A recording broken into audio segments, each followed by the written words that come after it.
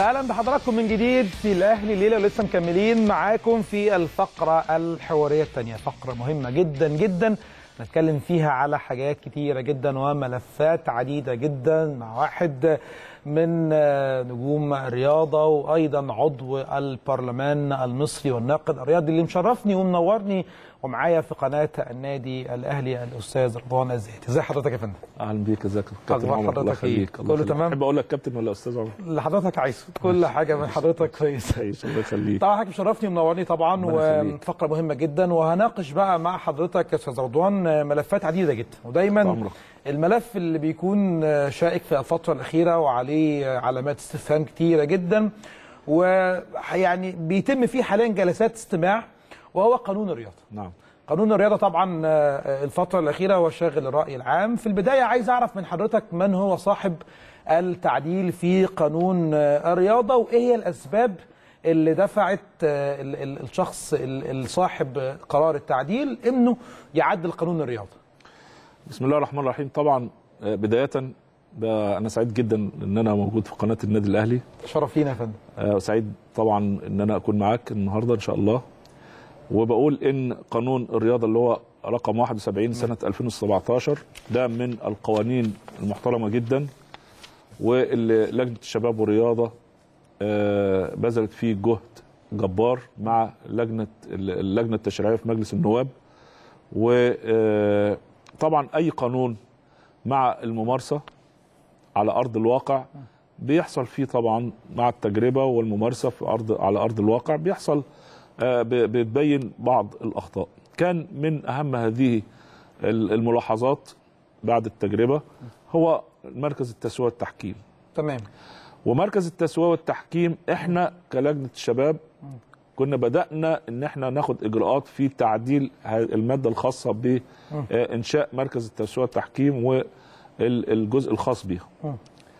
آه، لكن لما إحنا آه، عملنا القانون اصطدمنا بالمادة 84 وخصوصا الفقرة الخاصة بتاعت اللي هي مركز التسوية والتحكيم المادة الخاصة بالقانون مركز تمام. التسوية والتحكيم. تمام. اصطدمنا بالمادة 84 من الدستور المصري اللي هو دستور 2014 تمام. برضو هنعرف السادة المشاهدين. مظبوط طبعا. وكل اللي بيتابعنا المادة 84 بتقول إيه؟ تمام. نقراها. تمام. المادة 84 بتقول ممارسة للجميع وعلى مؤسسات الدولة. هسيب أنا الجزء الأولاني أجي على الجزء الثاني في من المادة. وينظم القانون اللي هو قانون الرياضة. تمام. شؤون الرياضة والهيئات الرياضية الأهلية. تمام. وفقا للمعايير الدولية. تمام. وراح واخد فاصله صح. وكيفية الفصل في المنازعات الرياضية. تمام. دي هي اللي خلتنا بقى إن إحنا نعمل المادة بتاعه مركز التسوية التحكيم لو كانت المادة 84 من الدستور المصري 2014 كانت قالت وينظم القانون شؤون الرياضة والهيئات الرياضية الأهلية وكيفية الفصل في المنازعات الرياضية وفقا للمعايير الدولية كنا عملنا المحكمة الرياضية عدل. وكنا بقى تجنبنا كل ما حصل من أخطاء في الممارسة وفي آه، موضوع مركز التسويه التحكيم. ما كناش عملنا مركز التسويه التحكيم. صح. لكن الفصله اللي اتعملت وفصلت اللي اللي هو إن ينظم القانون شؤون الرياضة والهيئات الرياضية الأهلية وفقا للمعايير الدولية وراح عامل فصله وكيفية الفصل في المنازعات الرياضية. لو كانت ده وكيفية الفصل في المنازعات الرياضية وفقا للمعايير الدولية كنا إحنا عملنا المحكمة الرياضية زي المحكمة الرياضية الدولية وكانت تبقى محكمة وبتفصل في المنازعات الرياضية. محكمة رياضية بتفصل في المنازعات الرياضية. فده اللي خلانا عملنا مركز التسوية التحكيم طيب إيه مشكلة مركز التسوية التحكيم طيب لو كان مركز التسوية التحكيم ده بعد عن اللجنة الأولمبية أو ما كانش ظهر تدخل اللجنة الأولمبية كان مركز التسوية التحكيم ده ما حد- حدش هيقدر يقول عليه أي ملاحظة. يعني يا فندم هي فاصلة السبب في كل المشاكل فاصلة دي هي اللي كلها. عملت المشكلة دي كلها. طب هل ممكن يتم تغيير والله القانون طبعا بسبب يعني الفاصلة؟ إحنا إحنا ممكن يعني تغير الدستور. وساعة تغيير الدستور ممكن المادة دي تتغير في وسط التغييرات التعديلات الدستورية اللي هتحصل. يعني في إن شاء الله تعديلات دستورية أكيد يعني أنا طبعا. بتوقع. طبعا يا فندم. آه ممكن ساعتها تدخل المادة دي تتعدل وتبقى إحنا خلصنا من الصداع ده كله. ويتعمل محكمه فندم رياضية. ده اللي جه من خلاله في جلسات الاستماع من ضمن الملاحظات اللي, آه، اللي تم ده- ده- أخذها يعني إن هو أنا أنا شايف آه. إن ده هو أهم تعديل في الموضوع. ليه؟ هو كمان مش عشان آه، مركز التحكيم وتبعيته فندم. للجنه الأولمبية. هو مش تبع تبع اللجنة الأولمبية. لو الناس فعلا تجردت من النوازع الشخصية صدقني كان الموضوع هينجح. لكن هو حصل خطأين. تمام. خطأ إن الناس فسرت أنا لا مركز التسويق التحكيم قلنا ده يتبع اداريا اللجنة الأولمبية. تمام. لحد ما يقف على رجليه ويبقى له ميزانية مستقلة. تمام. لكن هو مش معنى إن هو يتبع اداريا اللجنة الأولمبية. يبقى رئيسه رئيس اللجنة الأولمبية أو رئيس اللجنة الأولمبية هو اللي يتدخل ويشت... ويختار ال- ال- المحكمين والكلام ده. لا. ده حتى ده في شروط. أنت المحكم المحكمين أنت بتختار ثلاث محكمين. طرف وبيختار محكم وطرف تاني بيختار بيختار محكم تمام. والمحكم الاثنين محكمين بيختاروا محكم ثالث تمام. يعني في يعني الموضوع معمول بعناية وبدقة شديدة. أكيد طبعا. لكن الممارسة والنوازع الشخصية والحاجات ديت هي اللي أفسدت الموضوع. فإحنا هو التعديل إيه؟ عشان برضه ينظم آلية تنفيذ أحكام. أحكام الم- ال- ال- ال- اللي هو مركز التسويق التحكيم. دي اللوائح برضه هو أنت ما بتعمل لائحة المفروض تعمل لائحة آه تتنفذ. يعني تنفيذ القانون تنفيذ القانون تنفيذ قرارات المح... ال- الم- مركز التحكيم ده برضه هيتقال في القانون عشان ما حدش يجتهد ويعمل لائحه فيها أغراض شخصية. هو ده ده لب الموضوع. الحاجة الثانية طبعا وزارة الشباب والرياضة والدكتور أشرف صبحي تمام. أكيد طبعا كان عاوز يدي دور للدولة والحكومة في الموضوع في في قانون مظبوط، الرياضة. مظبوط. عشان نلاقي حاجات الإشهار الهيئات الرياضية والكلام ده كله آه، لكن هو الحتة اللي هو التدخل الإداري. أنا عايز أقول حاجة وحاجة مهمة جدا. أنا إحنا لسه كنا بنتكلم قبل الهوا إن أي قرار إداري أي قرار مالي يتبعه قرار إداري. آه، أي قرار إداري بيتبعه قرار قرار مالي. تمام الإداري والمالي اذا أنا أنا عندي واحد. أنا التدخل بتاع الدولة أو الرقابة بتاعة الدولة والحكومة ممثلة في وزارة الشباب والرياضة بتيجي من الناحية المالية فقط. لأن ما فيش أي جهة لا لجنة أولمبية دولية ولا أي اتحاد دولي هيرضى إن يبقى في أخطاء مالية في أي هيئة رياضية في مصر؟ مظبوط. فأنت هنا بتتدخل. وانت صح. وأنت القانون ادالك والقانون ده خلي بالك القانون 71 ل 2017 ده أشادت بيه اللجنة الدولية وبعتت شكر لرئيس لج... مجلس النواب ووزاره الشباب وقتها.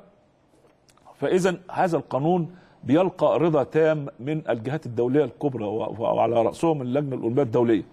يبقى اذا أنت هنا آه، آه، كل شيء يعني التعديلات آه، بسيطة جدا وما وما ولا يجب إن هي تبقى تعديلات. حتى موضوع الاستثمار زي ما إحنا برضو اتكلمنا إن موضوع الاستثمار كل حاجة واضحة في في آه، في الباب الخاص بالاستثمار بقى تكوين الأندية الخاصة تكوين الشركات آه، الرياضية داخل الأندية وده بما يضمن الحق الممارسة وعندك برضو الممارسة آه، والبطولة والكلام ده كله متنظم في القانون. مفيش أي مشكلة خالص. هي زي ما قلت لحضرتك كده أنت هتتدخل ماليا. يبقى لازم في تدخل يبقى لا. يبقى أنت ما هو طبيعي إن أنت برضو القرارات الإدارية تعالى أنت الفلوس دي صرفتها عشان أنا عينت مدرب عشان أنا مش عارف بعت لعيب. انت دخلت في الحاجات الادارية. بس. إحنا حضرتك بس بنوضح للسادة المشاهدين تاني إحنا بنتكلم على قانون الرياضة وبدأنا بيه آه، طبعا. وجهات النظر وجهات النظر حق حد اللي هيسمعنا عشان برضو طبعاً، إيه طبعاً. إحنا بنحترم كل الآراء. طبعاً يا فندم. كل واحد أصل ده ده قانون وقانون وضعي. قانون وضعي. حتى الدستور برضو قانون آه، دستور وضعي. ما هو الدستور تمام. قانون. تمام. آه، وضعي. يعني ب- من صنع بشر. ومن صنع بشر انت هيبقى ليك راي وأنا هيبقى ليا رأي بس في النهاية ان إحنا بنحترم الدستور وبنحترم القانون.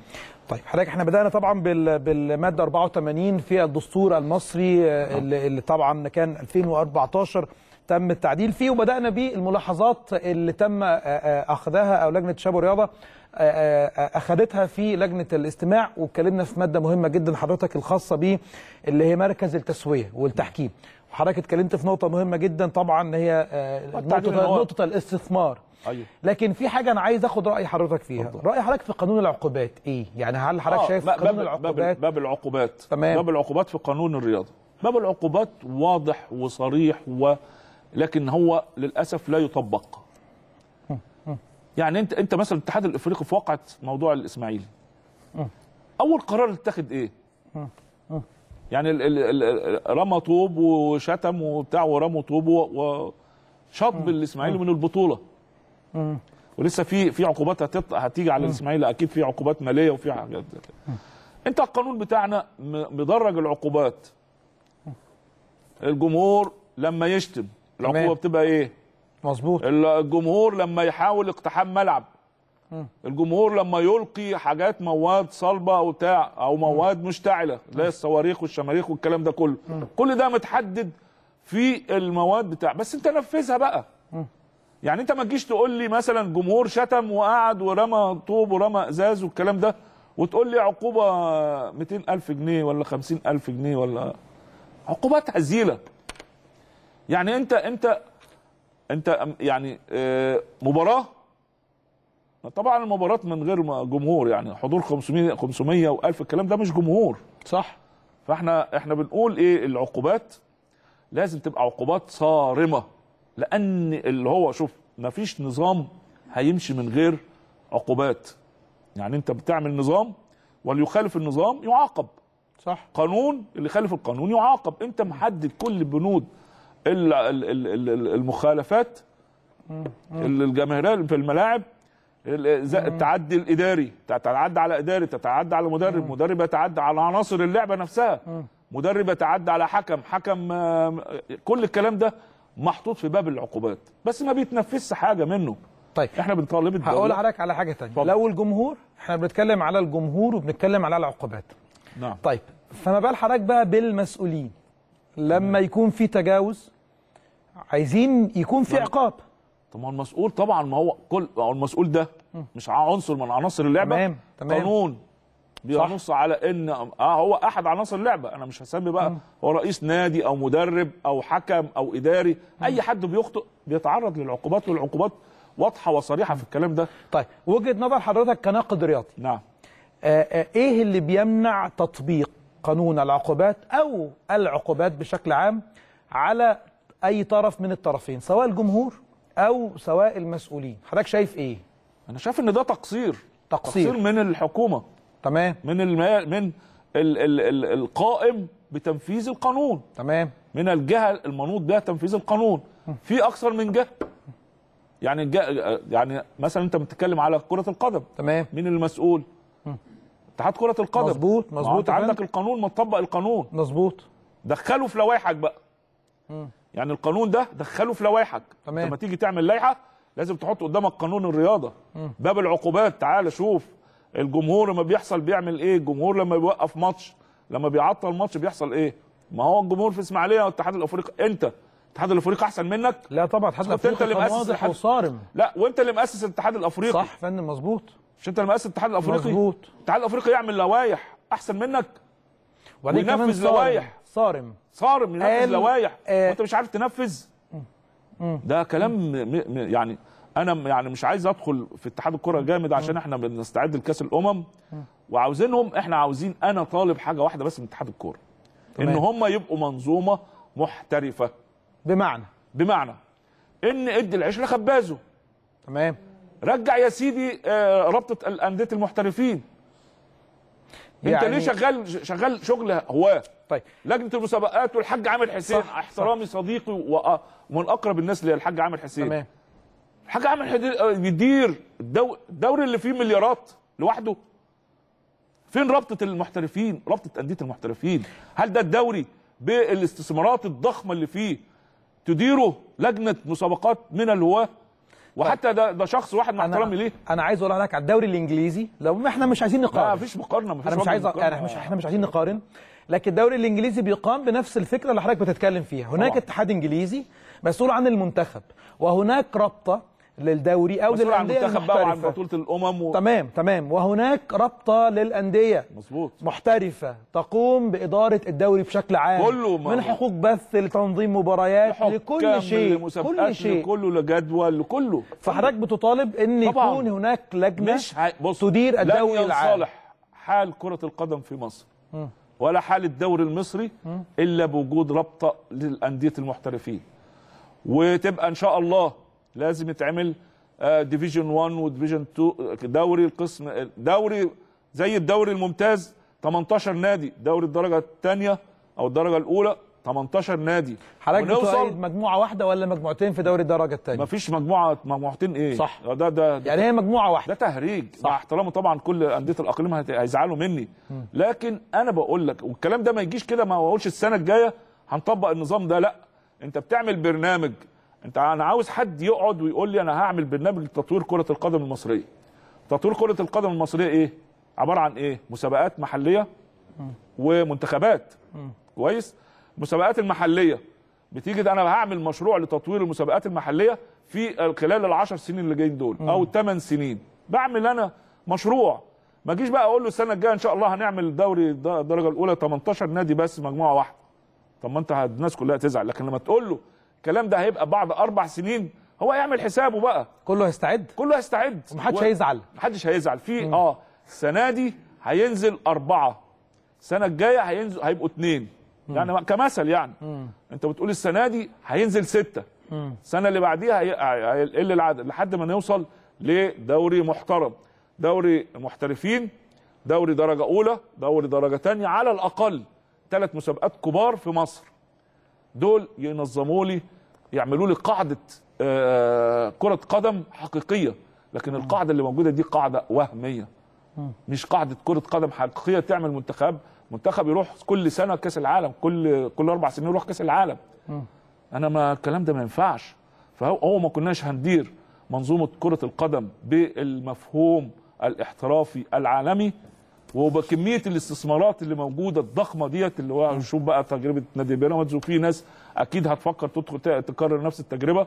يبقى إذا أنت داخل على آه نظام جديد آخر. فطبعا لكن الشكل اللي بتدار بيه كرة القدم منظومة كرة القدم في مصر ده ما يعجبنيش ولا يعجبش حد.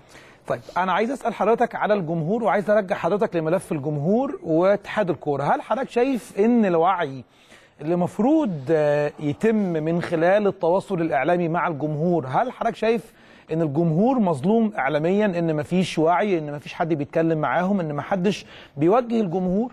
ولا حضرتك شايف إن الجمهور لابد أن يكون واعي بكل شيء ويبقى عارف كل حاجة من إيه اللي ليه وإيه اللي عليه؟ هي مس- مسؤولية مشتركة بين الجميع. ده ده عناصر. الجمهور الإعلام اتحاد ال- ال- الاتحاد كرة القدم الوزاره وزارة الشباب والرياضة الحكومة. تمام. الدولة كل ال- الكلام ده لازم يساعد على إن إحنا نخرج بشكل إن ال- الملاعب. يعني أو إحنا إحنا بنتفرج على آه، الدوريات الأوروبية. طبعا. بنقعد بن- دلوقتي بقينا بنتعال يعني بننتظر كل أسبوع أو كل أربع خمس أيام آه، ماتش آه، ليفربول. محمد صلاح. صح. بنشوف الجمهور. هو إحنا ما بنتعلمش. إحنا هل إحنا شعب بيجيد المشاهدة. فقط أنا عايز أقول لك على حاجة. محمد صلاح ومباراة ليفربول بتجمع كل الأطياف مع بعض. كده؟ ولا حد بيختلق مشكلة ولا حد بيعمل مشاكل. لا يعني ونقعد مع بعض. ونضحك إحنا بنقعد هو بيلم الأسر المصرية. صح. محمد صلاح دلوقتي صح، بيلم صح. الأسر المصرية. صح. وبنقعد نتفرج. مفيش حاجة بت يعني بت بتشد انتباهنا؟ يعني أنا ما بشوف الماتش بشوف الجمهور قاعدين زي قاعدين في مسرح. والله ده أحسن من المسرح. ده الناس قاعدة كأنها بتتفرج على آه، م- مسرح مش مش مباراة كرة القدم. هو مباراة كرة القدم لازم جماهير ونا- وناس كده آه، نشاز. واحد مش عارف إيه واحد إيه ما الناس قاعدة محترمة بتتفرج وبتشجع بمنتهى المثالية وبالروح رياضيه عالية جدا.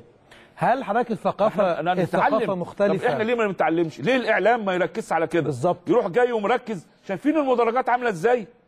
شايفين الملعب عامل إزاي؟ أرضية الملعب عاملة إزاي؟ ولا الأرضية بتاعتنا اللي ده شكل أنا لو لو لو ما اتعملش الأرضيات بتاعت الملاعب في كأس الأمم بالشكل اللي إحنا منتظرينه إن شاء الله. آه يعني لازم الناس تاخد بالها قوي. حتة أرضية الملعب يعني عشان ما تبقاش فضيحة. فنرجع تاني لا آه نرجع تاني لل يعني أنت تعمل سبوت كده تركز. الإعلام شايف- والجمهور. شاف الجمهور قاعد إزاي؟ تمام. في في سور ده هو ال- اللاعب في وش المتفرج صح؟ مفيش track مفيش. مفيش, track في مفيش الملعب. track. يعمل مسافة ما بين اللاعب حتى لو والجمهور. في track مفيش سور يعني هل حد بينزل الملعب حد بيشتم حد بيعمل؟ مفيش الكلام ده. لازم إحنا يعني الجمهور ده لازم يعيد حساباته مع نفسه الجمهور نفسه. يعني إحنا بنقول انت انت رايح تشجع ورايح تستمتع. راح تشجع فرقتك وراح تستمتع بأداء كرة قدم.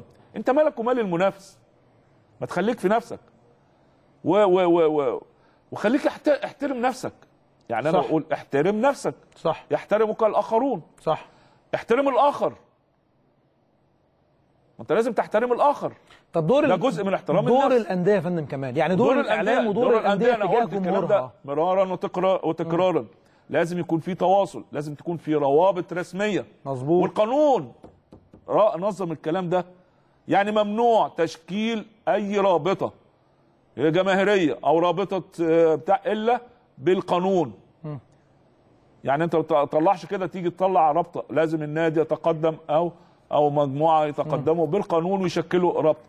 أنت الأندية المفروض تتواصل مع الجماهير بتاعتها وتشكل روابط والروابط دي ويبقى فيها انتخابات وده مجلس آه، رابطة جماهير الأهلي وده مجلس رابطة جماهير الزمالك ده مجلس رابطة جماهير الإسماعيلي وهكذا.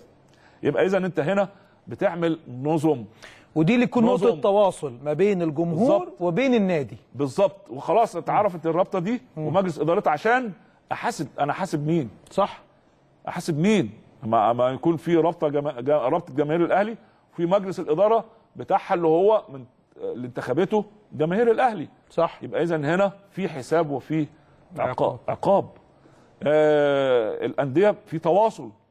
ما ما أنا أنا هتصل ب ب- ب 50 60 مليون ولا من خلال الرابطة اللي موجودة؟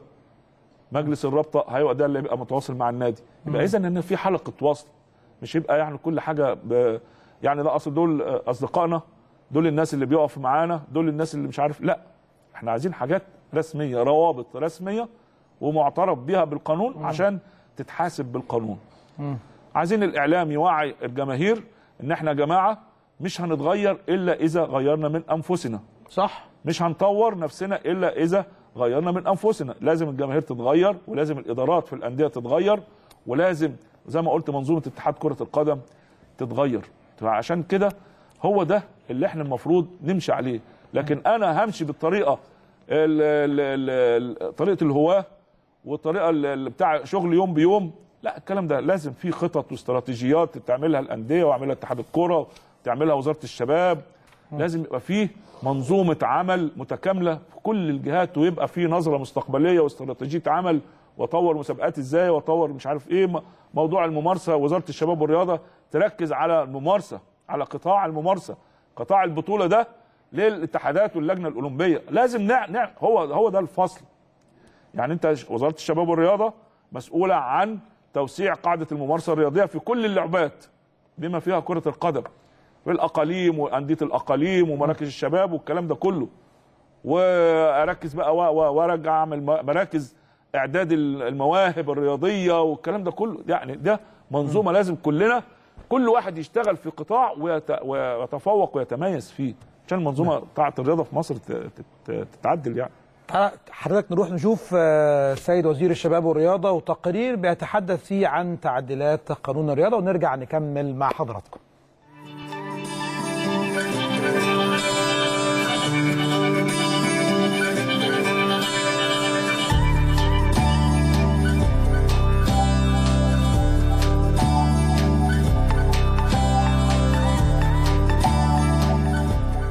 في آه، يعني اتفاق مع اللجنة الأولمبية آه، إن إحنا نعمل آه، اتفقنا مع المهندس محطه في الحقيقة. إن إحنا بعض الحاجات ال- اللي هي بعد تطبيق القانون في الحقيقة فرضت نفسها للتغيير إن إحنا ننظر إليها في التعديل زي الجامعات العمومية للانديه زي ال- التحكيم الرياضي لجنة فض المنازعات المنازعات زي بعض الأجزاء في آه، الاستثمار. هي دي كلها الحقيقة محك دراسة مع أكتر من جهة في الوقت الحالي. آه، كمان آه، لجنة الشباب والرياضه بمجلس النواب في الحقيقة بذلت جهد في الحوار المجتمعي.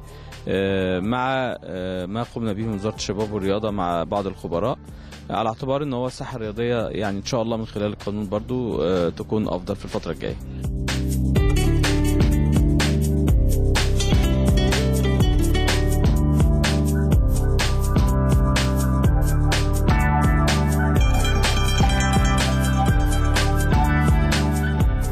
أكيد لازم نبدا في كل مجال. آه، إحنا عندنا الرياضه فيها رياضة بطولة آه، لازم نكون مستعدين كويس نعمل مشروعاتنا قوميه آه، في رياضة تنمية رياضية ورياضة تكون للصحة ورياضة تكون استثمار وقت فراغ ورياضة تكون تنمية رياضية في الحقيقة.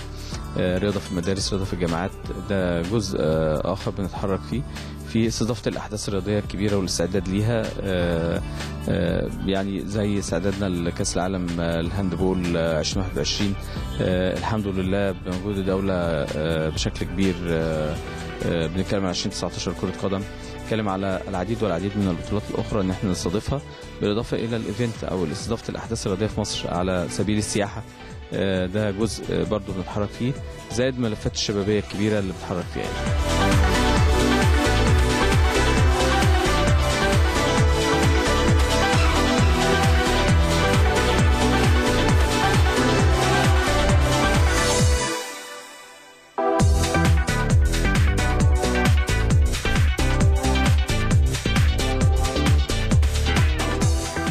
إحنا يعني في مجموعة عمل كبيرة جدا بتدرس دلوقتي آه، بالإضافة للجنه التنظيمية آه، لاتحاد الكورة و- وأكيد ده كله يطلع إن شاء الله آه، في الثلاث شهور فترة قليلة يعني بشكل كبير آه، اللي فيها إحنا نطلع إن شاء الله منتج في الآخر يكون كويس يليق باسم مصر.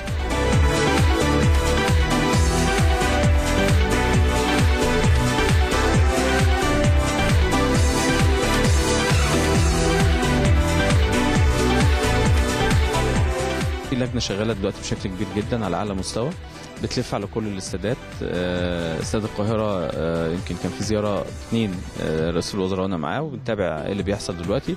أما الاستادات الأخرى في جهات بتلف فيها دلوقتي وبتنظم إن شاء الله تطورها وفقا لمتطلبات التنظيم.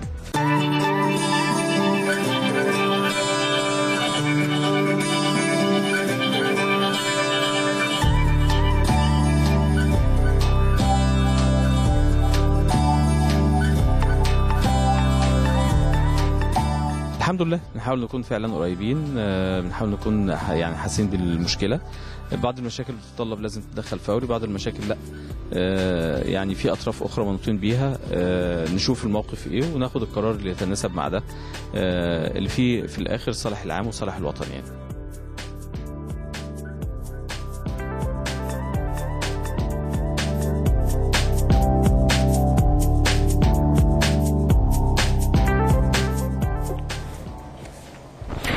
كلام مهم جدا من آه، سيادة الدكتور أشرف صبحي وده كان من خلال إطلاق إشارة بدء الماراثون الجري والمشي والدرجات واللي انطلق من آه، البوابة الخاصة بمركز شباب الجزيرة طبعا بوابة النادي الأهلي ومرورا وختاما بالبوابة الخلفية لمركز شباب الجزيرة. طبعا الماراثون كان فيه أيضا مسيرة شبابية. كمل مع الأستاذ رضوان الزياتي اللي مشرفنا ومنورنا ولسه هنتكلم في ملفات عديدة وكتيرة خاصة بقانون الرياضة أو بأمم أفريقيا اللي إن شاء الله مصر هتنظمها في 2019 وإن شاء الله يكون تنظيم مشرف.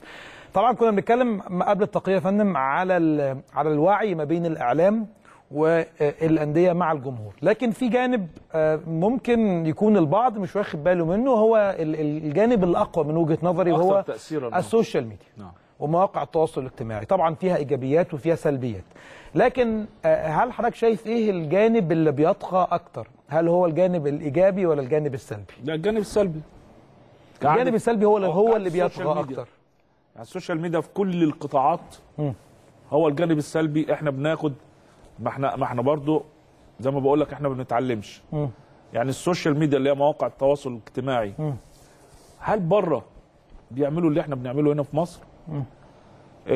مواقع التواصل الاجتماعي ديت تواصل اسمها تواصل اجتماعي. أنا بسميها مش تواصل تباعد اجتماعي. يعني هي مواقع بتع... بتع... بتعمل مشاكل أكتر. فتن. آه فتن. وفتن رهيبة. وبقى اللي, اللي عاوز بقى اللي اللي مش طايق الواحد يروح مديله على ال social media على هذه المواقع. كمان بقاش خلاص ده الوقت الناس بقاش تزور بعضها ما خلاص بيبعت له بقى والشات ومش عارف إيه والكلام خلصت الليلة بقى ما حدش بيزور بعض. طب بيبقوا قاعدين آه، في في أوضتين. بيعملوا بعض بي... طب بدل ما تروحوا ما تتكلموا مع بعض. face to face بدل ما تتكلموا على ال Face. لا اتكلموا face to face واخد بالك؟ فهم يبقى قاعدين واحد قاعد أخته قاعدة في الأوضة الثانية وهو قاعد في الأوضة ده أو أخوه ويكلموا يعملوا شات. طب يعني آه ما تقعدوا مع بعض face to face يعني. واخد؟ فهي نيجي ال- الجمهور بيستخدم هذه وخصوصا الجماهير الإيه؟ الوحشة. أنا كلمة وحشة يعني. الجماهير اللي عايزة تحدث فتن سيئة. ما بين الأندية وبعضها. أو الناس المغرضين اللي بيستغلوا الرياضة عشان أهداف أخرى. وبيستغلوا إن الجمهور مش موجود ما آه. بينهم ببعض ثقافة كبيرة وثقافة يعني عالية. نرجع لماتش مباراة الإسماعيلي ده. هل يعقل إن الجمهور في حفنة قليلة أو قلة مندسه يعني آه، ت- ت- ت- تبقى تجبر وتفرض رأيها وإن الماتش مش هيتلعب؟ يعني مش هيتلعب. وهم بتاع 15 واحد والأمن شايفهم وعارفهم بالاسم وعارفهم بالشكل. طب ما دول يجي يتجاب من قفاه ويخرج والماتش يكمل غصب عن ال ال ال عنه وعن غيره. لكن ده ده كان مشهدا سيئا وخبيثا. إن هو المشهد بتاع استاد إسماعيلية بتاع الماتش إن هو يتلغي. لأن ده كانش كان كان لازم يت... الماتش ده يتكمل بأي طريقة من صح الطرق. أتفق معاك. لأن ده فشل إداري شديد من كل الجهات. مش ه... مش هستثني حد. كله بما فيهم الأمن. فشلوا في إدارة هذه هذا الملف في يوم في هذه المباراة. إن الماتش ده يتلغي بالصورة ديت ويخرج شكلنا وحش كده كله مسؤول عن ال... عن ال... هذا الملف. كله لازم يشيل كله لازم يتحاسب. وأنا مش عاوز أقول ان مدير امن اسماعيليه يتحاسب في هذا الموضوع. ده لازم يتحاسب. ليه انت الماتش ده ما كملش؟ طيب. مش مصر اللي يحصل فيها الكلام هل. حضرتك شايف إن الاتحاد الأفريقي والعقوبة الموجهة تجاه نادي الإسماعيلي هي عقوبة عادلة؟ عادلة. في الاستبعاد من دوري أبطال بص ما أفريقيا؟ يبقى عنصر. أحد عناصر اللعبة وهو الجمهور وهو العن- العنصر الأهم. واللي إحنا كلنا بنقول الجمهور هو اللاعب رقم واحد. رقم واحد. مفيش شك. مش رقم 12 لا. لا طبعا واحد. هو هو اللي طيب هل حضرتك إحنا ممكن نشوف جمهور 2019 في أمم أفريقيا؟ إن شاء الله هو الجمهور اللي كان متواجد قبل في 2006 قبل ذلك لازم ترجع الجمهور لماتشات الدوري. كبروفا. آه طبعا. وترجع بقى للبطولة. 10000 و15000 و20000 وانت هتيجي تنزل له الجمهور فجأة كده؟ على كأس الأمم؟ هتقول لي أصل ده جمهور جمهور مصر. أنا مع احترامي آه ماشي جمهور مصر. لكن أنا برضو عاوز أعود الجماهير على حاجة. عايز اعودهم واشوف ردود الفعل إيه وأشوف إن أنا يا جماعة ولازم يبقى في مبادرات. إحنا النهارده عاوزين في الماتش الفلاني نعمل كذا. بروفات بقى لكأس الأمم. ولا هاجي أنا أفاجئ الناس بقى في كأس الأمم إن يحضر مئة ألف. صح. فجأة كده بعد ما كانش الملعب فاضي بيجي دلوقتي بلاقي نفسي قدام مئة ألف. لا لازم أعمل آه، حضور تدريجي للجماهير لحد ما تبدأ البطولة في شهر ستة. لازم بعد كده أدخل بقى 10000 15000 20000 عاوز أخلي أخلي كل الملاعب اللي هتلعب فيها كأس الأمم لازم تخلى من الآن.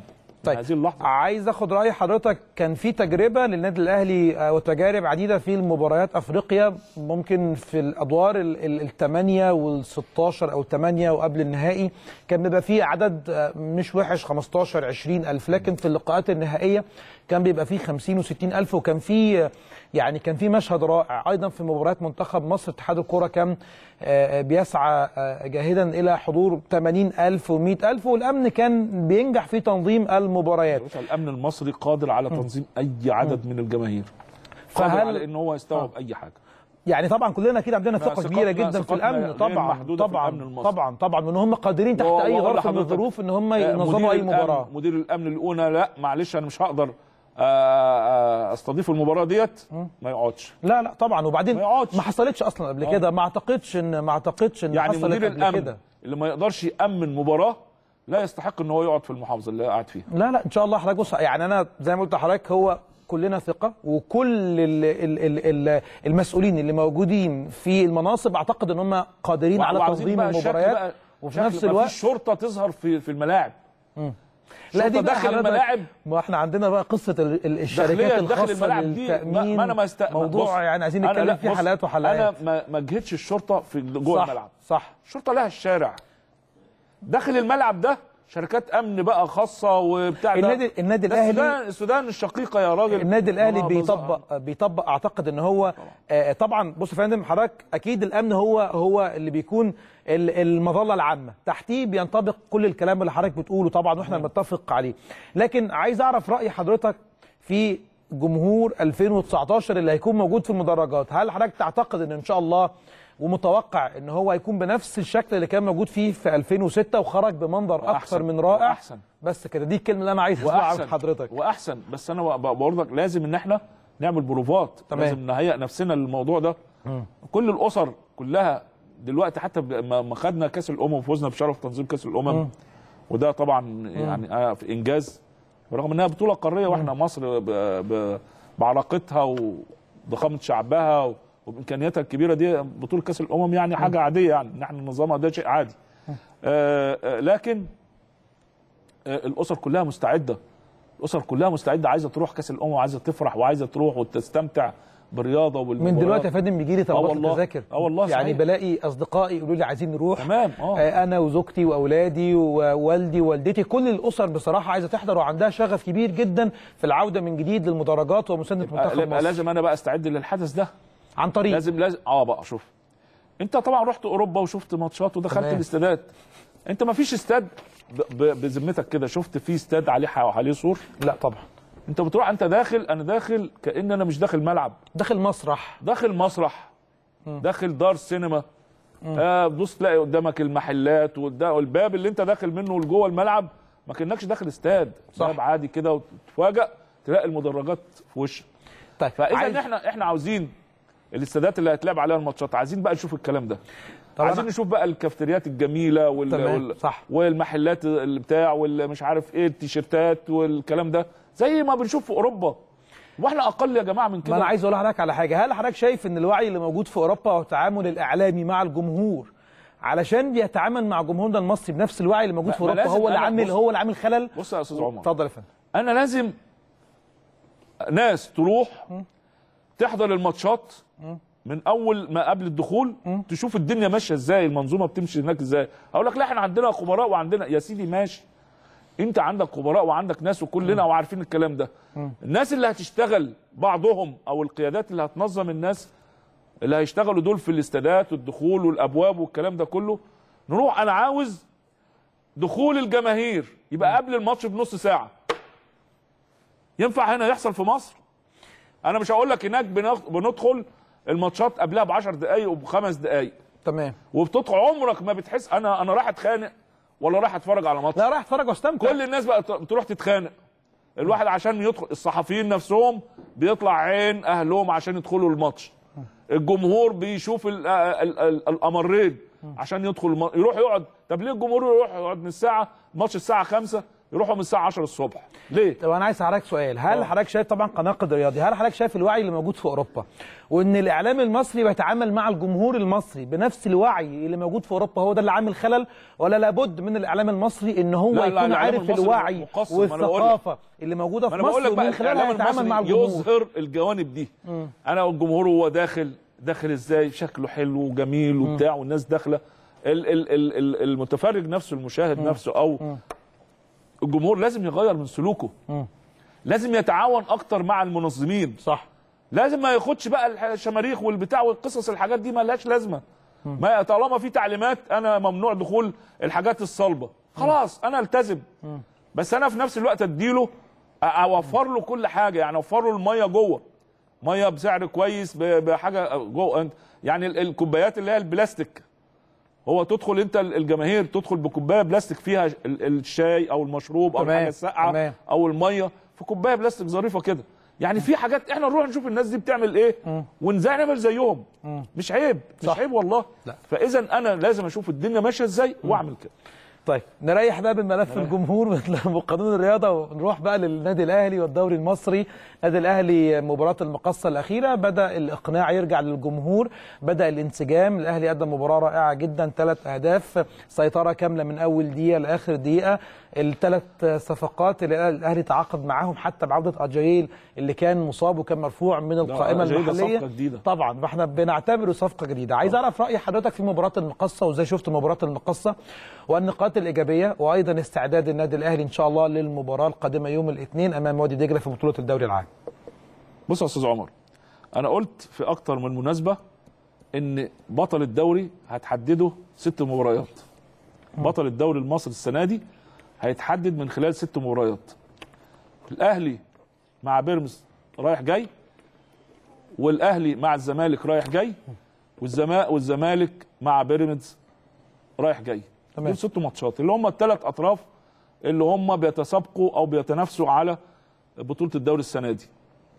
آه، الواقع بيقول والأرقام بتقول إن الزمالك هو الأقرب حاليا تمام. لحد دلوقتي. تمام. الأهلي من خلال مباراه ما شاهدناه في مباراة المقاصة والأهلي خلال الصفقات وأنا هركز على ثلاث صفقات رئيسية. هم اللي رجعوا آه، الشكل ال- ال- ال- الجيد للأهلي في مباراة المقاصة. رمضان صبحي حسين الشحات وصفقة ياسر إبراهيم؟ لا أنا لا ياسر إبراهيم ولا آه، ولا حمدي حمدي فتحي. حمدي فتحي. الصفقة أنا؟ لسه لسه ما أقدرش أحكم عليهم دلوقتي. تمام. ما أقدرش أحكم عليهم. لكن هل هم حضرتك شايف إن هم يعني أكيد م- ساهموا م- في الث- الثغرات اللي كانت موجودة ما- في منتصف ما- الملعب ما- مع ال- الإصابات وخط الدفاع مع. الإصابات. ال- المنظومة المنظومة الجماعية الدفاعية ما بيت ما بينتش آه، القدرات الخاصة بتاعت كل سواء ياسر تمام. إبراهيم أو حمدي فتحي. إيه- إمتى دول بتظهر القدرات؟ أن الراجل بصراحة يعني المدرب بدأت فعلا بصماته لازارتي بدأت بصماته تظهر على هذا الفريق. من خلال هم في منظومة جماعية منظومة الضغط الأمامي اللي إحنا شفناه في مباراة المقاصة. فهنا المنظومة الفرد بي إيه؟ بيدوب في المنظومة. منظومة دفاع جيدة. آه البعض قال لك إن المقاصة ما كانش آه فعلا المقاصه المقاصة كان بينقصه جون أنتوي وبينقصه بعض نجومه الأساسيين.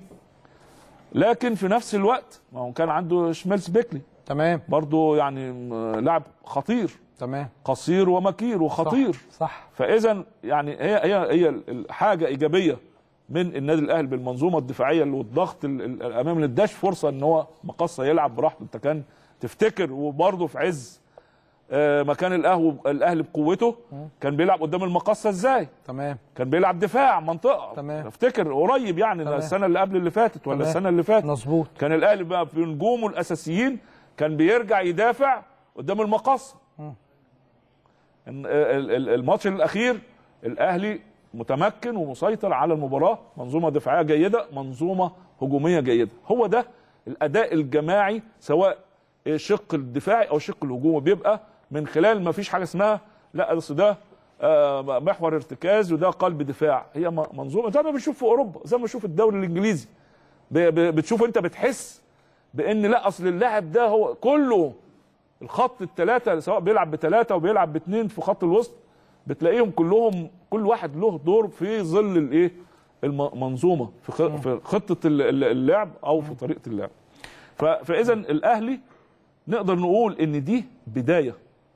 لكن ال- ال- ال- الماتش وادي دجلة برضه هيأكد لنا آه، الاستمرار على هذا الأسلوب والتطور أكتر لأن برضه الم- الم- المجموعة الجديدة اللي دخلت الصفقات الجديدة مع العائدين من الإصابة ده لازم يحصل انسجام وده بالوقت وده اللي هو ممكن يأثر على الأهلي اللي هو إن هو هل الانسجام ده هيحصل بسرعة ولا هياخد وقت؟ أنا شايف إن هو ماشي في معدل جيد. لكن إحنا عاوزين الانسجام يبقى أسرع من كده لأن المنافسة على بطولة الدوري عاوزة السرعة عشان تدخل في حلبه المنافسه نروح لتوقعات جمهور النادي الأهلي وفي مباراة دجلة وبعديها نرجع نعرف رأي ناقدنا الرياضي اللي مشرفنا منورنا الأستاذ رضوان الزياتي في مباراة دجلة اللي إن شاء الله هتكون يوم الاثنين القادم.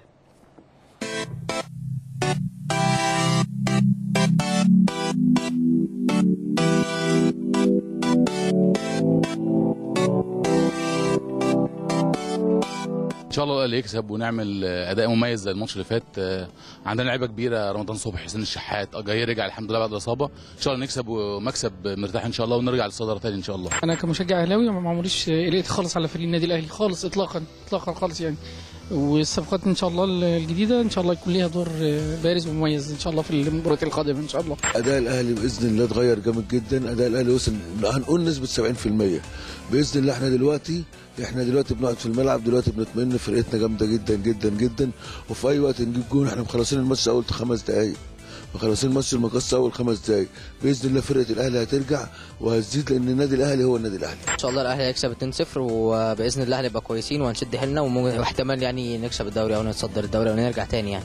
إن شاء الله نكسب 2-0 واللي يتألق فيها رمضان صبحي وحسين الشحات. إن شاء الله الأهلي هيبقى مستواه كويس في الماتش الجاي وإن شاء الله نكسب بإذن الله. إن شاء الله الأهلي قادر على إن هو يتخطى وادي دجلة بسهولة إن شاء الله.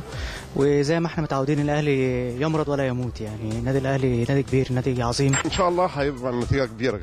أنا أتوقع يعني مش هتقل عن 3-0 يعني لأن ال- النواحي الفنية اللي موجودة في الأهلي دلوقتي واللعب الجماعي والسرعة وكل الأداء الحلو اللي إحنا كنا منتظرينه الحقيقة يعني حققه الاهلي في الفترة الأخيرة دي. إحنا شفنا في ماتش ماتش مصر المقاصة كان الأداء كان عامل إزاي؟ يعني مستر غزالتي عرف يعمل توليفه بين اللعيبة يعني لعيبه لسه أول مرة تلعب زي حمدي فتحي وياسر إبراهيم برضو بيلعب في مركز حساس شوية فإن الأهلي كان بيلعب بالأداء ده كان فيه استمتاع بقالنا كتير جمهور الأهلي ما شافوش في الملعب فيعني الناس كانت مبسوطة والأداء كان يبين كمان إن الأهلي راجع وبقوة يعني في أداء في الملعب والدليل على ان ثلاث أهداف الأهلي. آخر مرة سجل ثلاث أهداف ده كان من يعني كان في فبراير السنة اللي فاتت متهيألي. فكان في أداء وإن شاء الله ماتش دجلة الأهلي يعني هي هي هيستعد هيستعد ال- الانتصارات نغمة الانتصارات بأداء ممتع للجماهير. إن شاء الله بإذن الله هنوصل يعني هنفوز بثلاثه برضه زي الماتش اللي فات ويمكن أكتر آه، كمان. أنا شايف ان إن بعد رجوع الإصابات أنا شايف إن شاء الله ال- الماتش الجاي آه، رامي ربيعة هيرجع سعد سمير هيكون موجود حسام عاشور هيكون موجود. كل ال- اللعيبة دي بتدي أفضلية أكتر آه، للفريق وإن شاء الله بإذن الله آه، نفوز ونحقق نتيجة كبيرة. باذن الله مباراه المقصه اللي فاتت هي بداية العودة الحقيقية للنادي وبإذن الله الدوري لينا.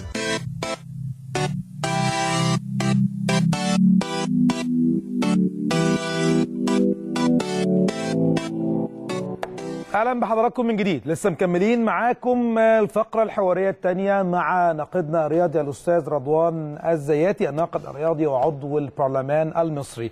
هنتكلم على مباراة دجلة القادمة. دجلة آه، يعني عنده ضغوطات أقل عنده آه، فترة راحة أكبر من الفترة اللي بيمر بيها النادي الأهلي. النادي الأهلي من ما بين مباريات مؤجلة في بطولة الدوري العام وأيضا مباريات في دوري أبطال أفريقيا. شايف حضرتك المباراة هتبقى عاملة إزاي؟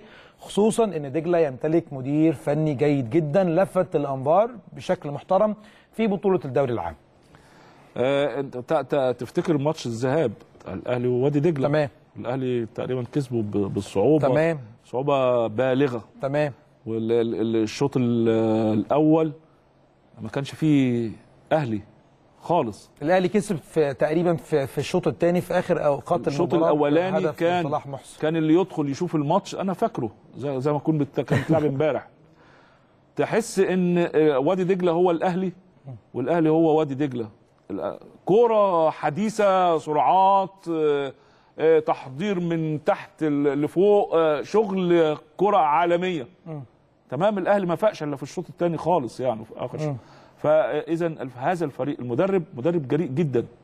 انت شفت آه الضغط ما بيحصل عليه ضغط أمامي بتتقطع الكره ودي الأهلي استفاد من الحته من الحتة دي في الشوط الثاني آه فاذا هذا الفريق آه الم- المباراة مش هتكون آه سهلة. فالأهلي مطالب إذا كان أراد إن هو يبقى منافس قوي يحصل ويحافظ على بطولة الدوري الماتشات اللي زي دي بقى ما يخسرهاش وما يتعادلش ما يخسرش فيها نقطة خالص. ما يعني كل مباريات الأهلي اللي جاية كؤوس. مباريات كؤوس. لازم ثلاث نقط دول بقى شيء أساسي. آه، الاداء الأداء خلاص وإحنا قلنا الانسجام بيجي بقى مع الماتشات ومع عودة المصابين والكلام ده كله. الصفقات الجديدة هتظهر قدراتها وإمكانياتها.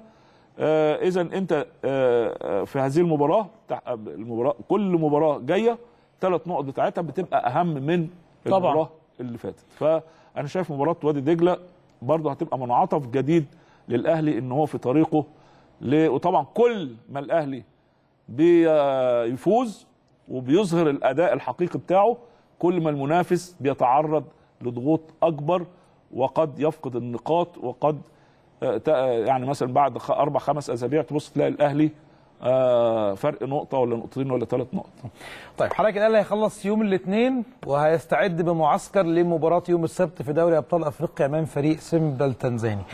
آم، مجموعة غريبة، مجموعة ممكن نشوف فيها نتائج. يعني آه يعني سيمبا التنزاني بيفوز آه، على شبيبة الثورة 3-0 في الوقت اللي بيخسر فيه من فريق فيتا كلوب فواضح إن كل نادي بيكون عامل حساب الفريق الآخر بشكل جيد جدا وكمان بينتهز فرصة اللعب على ملعبه وسط جمهور طبعا. إزاي حضرتك شايف بقى مباراة الأهلي آه. وسيمبا في الظروف الحالية؟ أهلي أربع نقاط. ضغط لقاءات طبعا هتبقى في القاهرة إن شاء الله وهتبقى يوم السبت القادم إن شاء الله. المباراة دي مباراة الأهلي وسيمبا دي اللي جاية هي اللي هتأهل الأهلي لل الأهلي أربع نقاط لو فاز آه. هيبقى سبع نقاط بس خلاص الأهلي تعتبر كده إن شاء الله آه، قرب من التأهل لل... لل... لدور ال... رأيك في شكل جديد لدوري أبطال أفريقيا وإن الاتحاد. الأفريقي بيحاول إن هو ينظم هو دايما دايما الاتحاد الأفريقي بيقلد الاتحاد الأوروبي ما هي المفروض المسابقات العالمية تبقى آه. بنفس الشكل وأنا بص أنا سعيد أكتر حاجة ساعدتني اسعدتني في مم. هذا الموضوع إن الاتحاد الأفريقي ظبط البطولات وكل الأمراض اللي كانت في منظومة كرة القدم الإفريقية اتصلحت وبقت على على الطراز العالمي يعني إحنا هنوضح للساده المشاهدين أيوة. بطوله الامم الأفريقية بقت في. السنوات الفردية الفردية. وفي شهر ستة بعد انتهاء البطولات العالمية تمام. حتى لا يتأثر الأندية في أيوة. الدورات العالمية بغياب نجومها الأفارقة عكس الأمم. الآسيوية اللي نعم. بتقام حاليا وبالتالي نادي نادي زي توتنهام بيعاني بسبب غياب لاعبه مع فريق كوريا الشمالية. تمام؟ الحاجة الثانية بطولة دوري أبطال أفريقيا تبدأ مع بداية الموسم وتنتهي بنهاية الموسم. علشان ما يكونش فيه إحنا إحنا كنا دايما يقول لك إيه مثلا يجي الأهلي في شهر في شهر اللي هو فيه لا إما في نهاية موسم تبص. لا اللي هي المباراة الحاسمة والفاصلة. لا إما في نهاية موسم لا إما في بداية موسم. يا إما يكون في إجهاد يا إما يكون في لسه عدم في لعب مباريات آه، دوري. آه مفيش اللياقة ما اكتملتش. صح. فإذا هو أنا أنا بقول لك سعيد جدا. أنا. حسيت كده إن إحنا فعلا عايشين في من- منظومة آه، كروية صح. اتحاد الكره بقى يكمل جميله بقى ويمشي مع المنظومة دي يعني. حضرتك مصمم على لجنة ال- لجنة آه، طبعاً، المحترفين طبعاً، اللي. تدير بطولة الدوري. طبعا طبعا. العبء يعني العبء كبير على الحاج عامر حسين. لا ما حرام إن إحنا بنظلمه. والله إحنا بنظلمه. هو ب... إحنا بنظلمه. اتحاد كورة يعني مش إحنا. إحنا طبعا إحنا طبعا. إحنا مظلومين زيه. فهو إحنا إحنا اتحاد الكورة بيظلمه وهو برضو الحاج عامر حسين بيظلم نفسه. يعني كيف يعقل إن شخص مع احترامي ليه؟ طب طب هقول لك حاجة. اسأل أي واحد في مصر قول له مين أعضاء لجنة مسابقات. لو حد ذكر لك اسم تاني غير الحاج الحاج عامر آه يبقى ليها كلام تاني.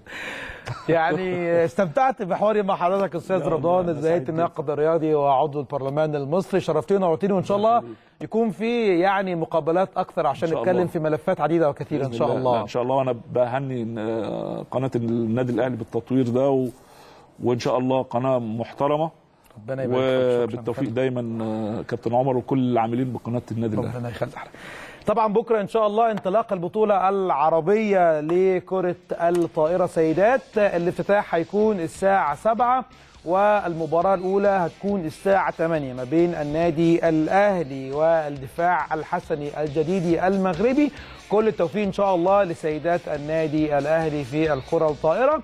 وصلنا مع حضراتكم لختام الفقرة الثانية مع الأستاذ رضوان الزياتي. هنروح لفاصل وبعديها نرجع لفقرة الكرة العالمية. Bye.